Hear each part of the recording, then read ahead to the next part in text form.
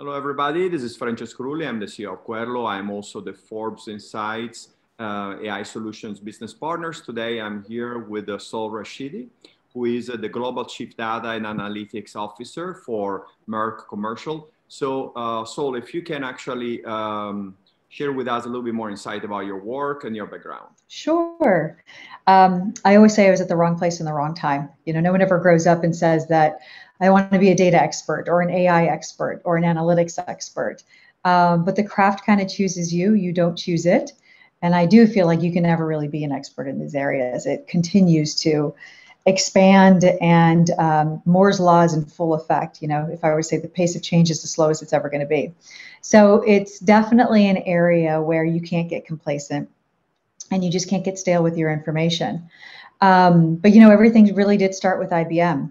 And I, I do owe my career to IBM. I've said it once, I'll say it again.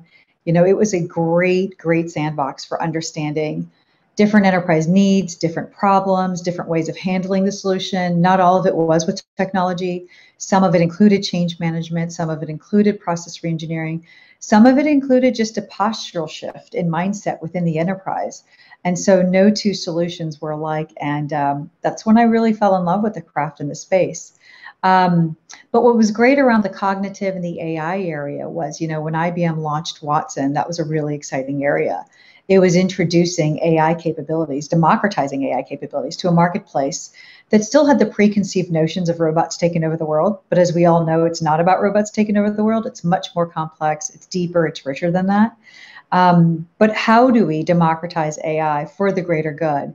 And they did some fantastic things in the life sciences and healthcare space and their partnership with Sloan Kettering. And then it expanded, of course, to other markets. But it was great to be a part of that story. It was great to have leaders rely on you to go, we're embarking on a journey that just hasn't been traveled before. Um, come be a part of the team and create a space that just doesn't exist. And I think that's where it all kind of started. You know, it, it was Watson was really like running a well funded startup. And since then, I have been in management consulting, so both at IBM and at EY. And then I was a chief data and AI officer, um, or I like to call a cognitive officer at Royal Caribbean. I was a CDO at Sony Music, and now I'm the global data and analytics officer for Merck um, within the commercial division. And no job is the same. Um, ev- the problems are different. But what's great is the dexterity of knowledge that you need in the modern day workforce to make something happen, to make something work is vast. And uh, I always say I run really well funded startups how do we build a capability, a competency that organizations either fundamentally have never put an emphasis on or they've had many false starts in the past and they just need someone with both the technology background with both a change management background who has the ability to storytell to sort of bring all these legs in a stool together to really drive an initiative forward. And so i've been very very blessed with working for some fantastic leaders across royal and sony and now merck. And yeah the journey continues. Fantastic. So you mentioned cognitive services, you mentioned IBM. For us, is uh, IBM is one of our cognitive partners. Now, my question to you is, uh, what is the role of the cognitive officer? you inspire me with this term. Uh, a long time ago, we have known each other for a long time since we were both coaching at the New York Athletic Club. Mm. And uh, I would love to hear your thoughts about the role of uh, the cognitive officer. Sure. I think it means different things for different industries and different companies. I think everyone's still trying to figure it out. But at the end of the day, you know, whether AI stands for artificial intelligence, augmented intelligence, automated intelligence, it's how do we leverage technology to not just advance our capabilities, but accelerate at an exponential growth rate using technology as a fundamental component of that equation. Some companies are really good at it some companies actually aren't very good at it.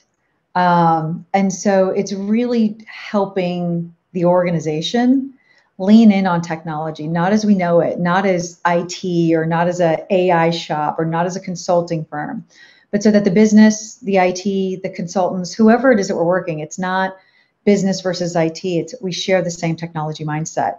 And part of a chief cognitive officer is sort of to bring the two divisions together part of a chief cognitive officer's or chief AI role is to talk about the art of the possible.